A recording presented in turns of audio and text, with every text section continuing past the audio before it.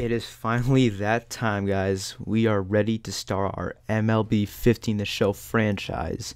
And as you guys know, the team I will be using is the Arizona Diamondbacks, who finished with a total of 64 and 98 last year. Uh, not a good record at all, guys. Um, yeah, this team was pretty bad last year, so this is the team I decided to use. They have a little bit of a direction, but nothing like amazing, not like Cubs level direction. So it should be interesting to use. But taking a look at our team, you could see that our team is very bad. Um, we have the only 80 overall we have basically is well uh, Paul Goldschmidt. So he's our only 80 overall for hitters. And our best catcher is Peter O'Brien, who isn't really even a good defensive catcher. He's just got a ton of power, 93 power on the right side, which is absolutely insane. If I can, maybe I'll move him to the outfield. He played a little bit of outfield for the Yankees last year with uh, Gary Sanchez being their uh, catcher.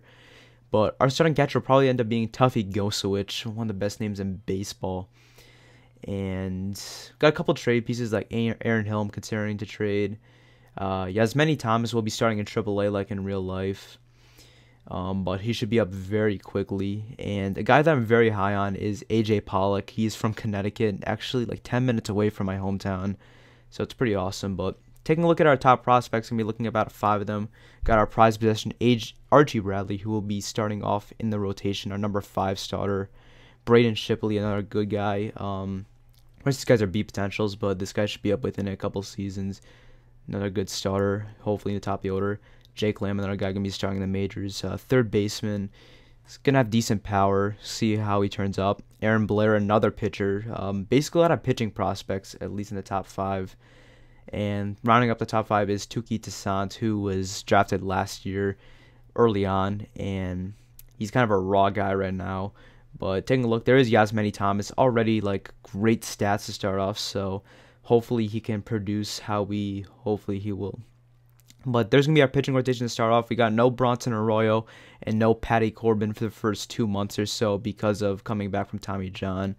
And the lineup is uh, work in progress right now. That's might be what I'll be working with opening day, but we'll have to see what happens. But we do have the number one pick for the draft is coming up here, as we did have the worst record in baseball. So this is a guy I'm very high on right now. Uh, very high potential catcher. So hopefully we can get him, but that's going to do it for this video. Next video will be opening day against the Giants. So excited to do it. Cannot wait to post it. And I'll see you guys in the next video. Thanks for watching. And I cannot wait to post this, like I said. But see you guys then.